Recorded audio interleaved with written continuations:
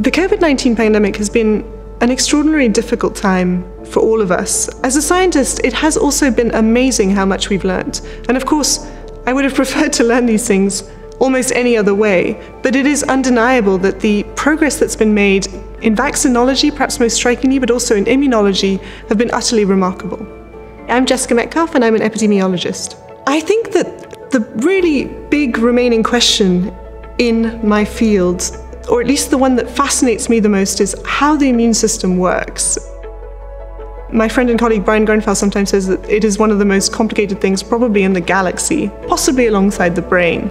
And this is important because the ability to measure people's immune status could really revolutionize our understanding of how the spread of pathogens could occur. The big idea I'm most excited about at the moment, which I think would have been something that would have put us in a much better place for dealing with this pandemic, but will also leave us in a better place for future pandemics, is the development of a global immunological observatory. Only about 200 viruses or so have ever been detected to infect humans, and because viruses have tiny genomes, you can split them all up and put them on a single chip and immediately get a sense of whether you, in particular, given a drop of your blood, have been exposed to that virus or not. This means that by going out and taking samples from everyone, we can get this extraordinary window into the past of what pathogens had circulated where and who had been exposed and who hadn't. But we also have a sense of what vulnerabilities are in the future, because that pattern of exposure also tells us something about whether I'm protected or not. And it also tells us something about whether that pathogen will be able to spread or not, whether that influenza virus will be able to spread or not.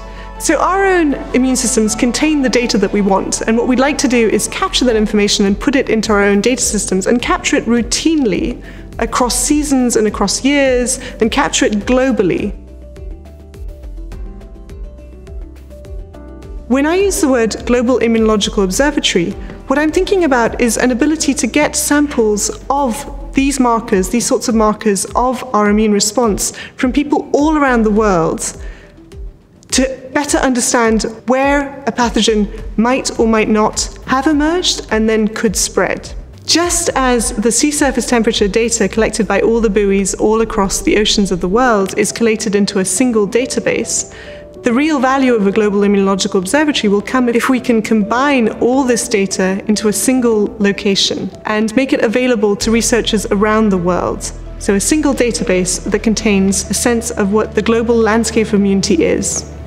I think there are many potential advantages to a global immunological observatory. The first would simply be detecting where there are gaps in immunity to pathogens for which we know we have the ability to fill these gaps. So, for example, by vaccination for measles, for rubella, for other vaccine preventable diseases. The other thing we could do is detect anomalies. So, suddenly, if we see a little uptick in coronavirus immunity in a part of the world which doesn't normally have that immunity, we might wonder if there'd been a pathogen emergence event. So, it could be an early warning system.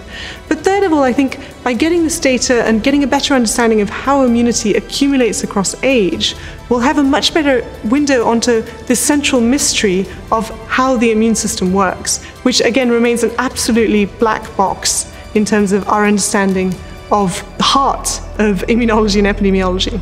I'm Jessica Metcalf, and I'm a forward thinker.